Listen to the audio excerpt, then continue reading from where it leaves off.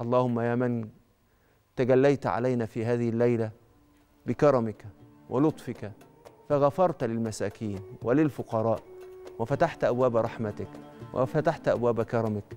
اللهم إنا اللهم إني أسألك وأنت الكريم وأنت الودود والذي فتحت أبواب الفضل والجود أن تغرقني في فضلك وأن تغرقني في كرمك. فلا يبقى في قلبي مثقال حبة من خردل من وجع أو ألم أو ضيق أو حرج. اللهم اجعلها ليلة جبر خاطري بأن تجعلني في ديوان المقبولين وأن تكتبني في ورثة جنة النعيم وأن تجعلني من السعداء في هذه الحياة الأولى.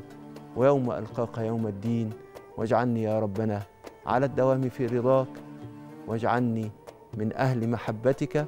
ومن أهل اتباع حبيبك ومصطفاك صلى الله عليه وآله وسلم.